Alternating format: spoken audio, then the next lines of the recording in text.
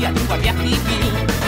Tenemos a un banquero de lo más honrado y ese ministro que se hizo albañil. Y ya lo ves, qué desilusión. La fauna de esta tierra está en peligro de extinción. Ya lo ves, qué desilusión. Aquí no acaba esta